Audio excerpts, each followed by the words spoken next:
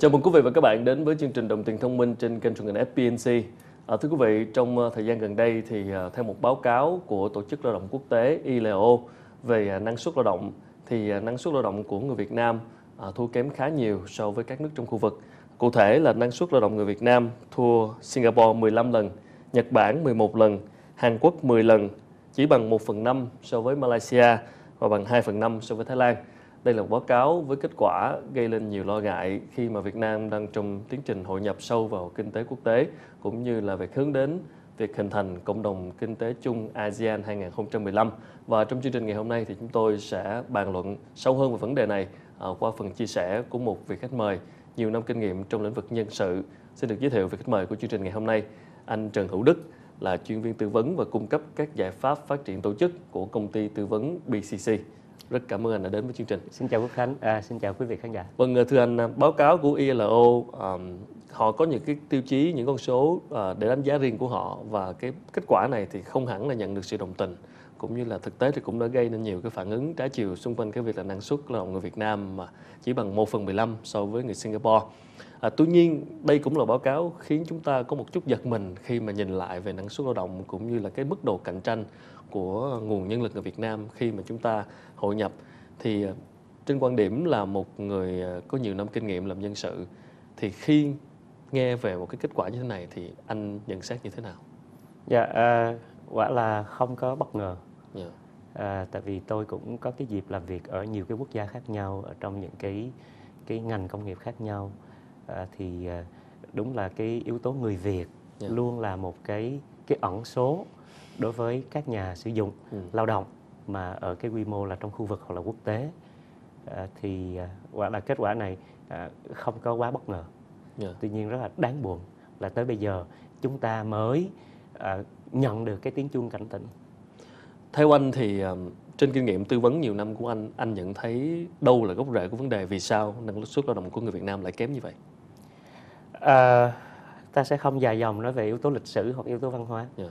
À, đi vào gốc rễ vấn đề thì gần đây tôi có tiến hành một cái cuộc nghiên cứu trên một cái mẫu là 577 cái đối tượng đã đóng góp cái số liệu để đi so sánh à, các cái yếu tố gì à, giúp chỉ báo cái thành công Yeah. trong con đường sự nghiệp của các bạn trẻ khi tốt nghiệp từ à, tốt nghiệp phổ thông trung học cho đến là à, tốt nghiệp sau đại học thì có một cái cái số liệu à, à, chỉ rõ rằng là à, đối tượng người lao động Việt Nam của mình bị yếu một số cái rất là rõ nét cái yếu đầu tiên hết á, là cái kỹ năng kết phối hợp với nhau trong tinh thần đội nhóm Yeah. Làm việc nhóm. đúng rồi hay nói khác là à, khi chúng ta làm việc đơn lẻ thì chúng ta làm rất là tốt nhưng khi đã ngồi chung lại với nhau thì cái năng suất lao động chúng ta giảm đáng kể thì đó là một cái chỉ số mà tôi đã có số liệu để thống kê được và chứng minh được cái điều đó Mà anh có biết vì sao lại khó kết hợp như vậy hay không? à, tiếc rằng là cái thống kê của tôi thì chưa có đi sâu vào trong nguyên nhân Yeah. cho nên nếu như nói về cái góc độ à, cái nguyên nhân thì cái này nó nằm ngoài cái khuôn khổ của cái, cái cuộc thống kê nhưng Ừ. từ cái kinh nghiệm của tôi thì cái đó là à, chúng ta thường xuất phát từ cái cái tâm lý là à, rất là gọi là tùy và tiện à, hai cái đó và Yeah. à, rất là rõ nét trong người lao động à, Việt Nam của chúng ta hay nói cách khác là khi hỏi một cái vấn đề gì đó ta ít có nêu chính kiến của mình. Yeah. ta chỉ nói ừ cái đó tùy. Ừ. thì cái câu là tùy ta sẽ nghe rất là thường xuyên. Và cái thứ nhì là tiện. Ta, ta quyết định chọn một phương pháp nào một giải pháp nào. Thì cái nào mà tiện nhất thì cái đó sẽ được ta chọn ưu tiên đầu tiên. Thì chính cái tùy và cái tiện đó gắn chung lại với nhau rất là kháng khích nó sanh ra cái câu chuyện thứ nhì đó là cái tính tùy tiện của chúng ta hay nói khác là chúng ta thiếu cái kỷ luật. Khi đã làm việc trong đội nhóm trong tập thể Yeah. ta phải có những cái quy ước nhất định với nhau. Thì như thế khi ngồi chung lại với nhau nó mới có yếu tố cộng hưởng. Vì cái tùy tiện đó cho nên ta chưa thể nào phát huy được cái lợi ích khi làm việc đội nhóm. Như vậy thì ở góc độ là người sử dụng lao động, các ông chủ doanh nghiệp, các nhà lãnh đạo thì để um, giúp cho nhân viên của mình uh, cải thiện cái cái khả năng làm việc nhóm đó, theo như kinh nghiệm của anh tư vấn thì họ sẽ phải làm như thế nào? Dạ, à, trước tiên là là câu hỏi rất là hay của Quốc Khánh mà không biết là là có người để ý hay không. Đó là làm việc đội nhóm là một kỹ năng. Và cái đó ta hoàn toàn có thể đào tạo, huấn luyện được.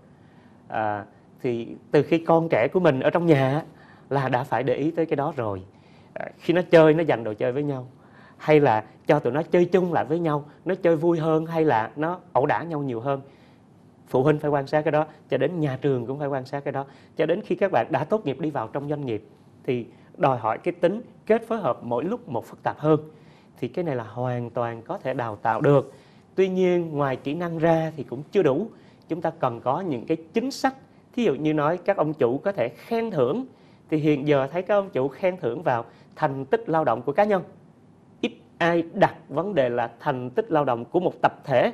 Dạ. và thậm chí treo cái thưởng của tập thể còn cao hơn cả cái thưởng của cá nhân nữa thì đó vừa kỹ năng vừa hệ thống và chính sách thì chắc chắn là doanh nghiệp chúng ta có thể tập cho người lao động Việt Nam của chúng ta có được cái kỷ luật trong cái tương tác và kết phối hợp đẩy cái hiệu quả cái năng Dạ. suất lao động chúng ta khi kết hợp đội nhóm Ờ, vậy còn những điểm mạnh của lao động Việt Nam thì như thế nào? Chúng ta thường hay nghe đến việc là người lao động Việt Nam thì cần cù, thông minh, chịu khó, học hỏi. Thì liệu cái những điểm mạnh đó có đủ để giúp chúng ta ờ, cạnh tranh trong cái bối cảnh mà chúng ta hội nhập sâu vào cái nền kinh tế trong khu vực hay không? Dạ, à, theo thống kê của chúng tôi thì cần cù chịu khó thông minh không phải là điểm mạnh của người Ừ. lao động Việt Nam.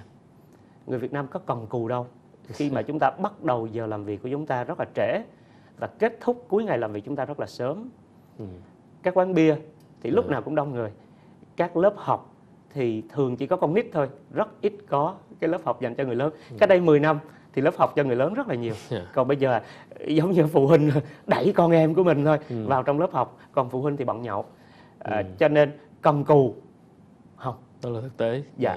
à, thông minh à, với tư cách là một người tư vấn và một người à, giảng viên cũng lâu năm rồi à, tôi thấy là người Việt của mình học chậm lắm học một mà ngỡ là đã biết 10 cho nên chúng ta không có thông minh chúng ta lanh thì có Dạ. tức là lắc léo đi đường tắt Dạ. rất là giỏi à, đốt bớt giai đoạn à, ma mảnh tí xíu thì Ừ. chúng ta giỏi cái đó lắm còn học mà thực sự mở tâm mở lòng để nạp được những cái nguyên lý để ứng dụng những nguyên lý vào trong thực tế và cuộc sống thì chúng ta cũng dở luôn học rất là chậm à, tuy nhiên từ thống kê của chúng tôi thì cái thế mạnh của người lao động Việt Nam của mình á, là nằm trong cái chỗ đam mê Dạ.